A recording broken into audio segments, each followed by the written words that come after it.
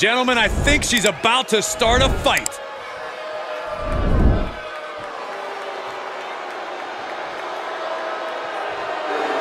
And from Des Moines, Iowa, Kiana James. If pride comes before the fall, then brace for one heck of a big fall in this match. Oh, well, aren't you clever, Saxton? It isn't about pride for this athlete. It's about believing in yourself and keeping firm to that belief.